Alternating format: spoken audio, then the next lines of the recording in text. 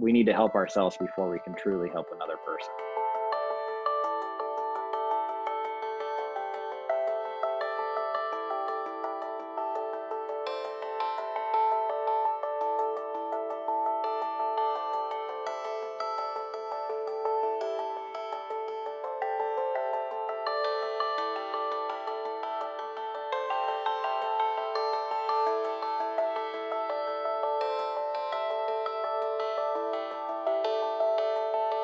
It's frustrating and sad to see people be like, "Oh, this is not that serious." I'm like, "Oh, I'm taking care of people that it's very serious for." So like, it's both for me. Like I understand the frustration, but then it's also frustrating because it's like we're not li- we're not trying to mislead people. We're just trying to provide the best health care for people.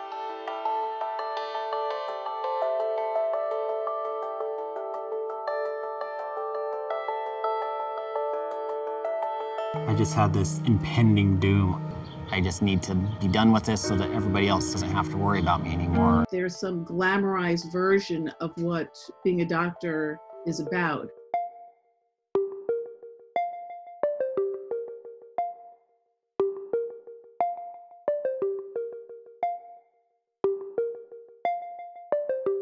Do No Harm exposes a hidden epidemic in healthcare, which is physician suicide and burnout, which is really a taboo topic.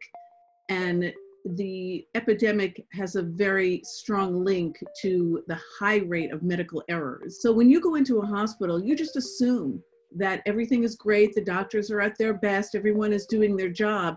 But what you don't know is how sleep deprived they are. And as a result of that sleep deprivation, the deprivation, they are committing errors that you never know about.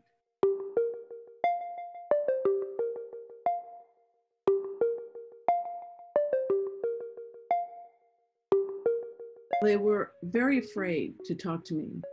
It was almost impossible. I mean, I must have spoken to dozens, dozens, maybe hundreds, at least over 150 young doctors, middle aged doctors who feel like their well being and that of their patients is in jeopardy. And they were afraid to talk about it because they could easily lose their job. It's always been an issue with physicians to even seek care because of fear of having licensure or credentialing impacted by getting mental health care. It worries me because now people are going to retreat more into themselves because they, they don't feel like they could reach out in their time of need and really not know where to go.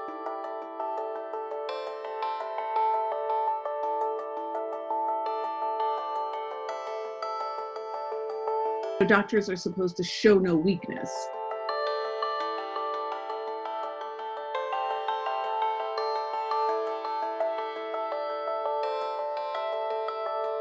I've read articles like either by anonymous people or just people that you can't you don't have anything other than uh, like written words. So like for me, it's like putting a voice and a face behind that. I think it's important to start looking at resources that you may not need right now, but maybe in the future, certain circumstances will come up, and whether it's uh, personal or professional, like it's always nice to know where you can turn to and seek help.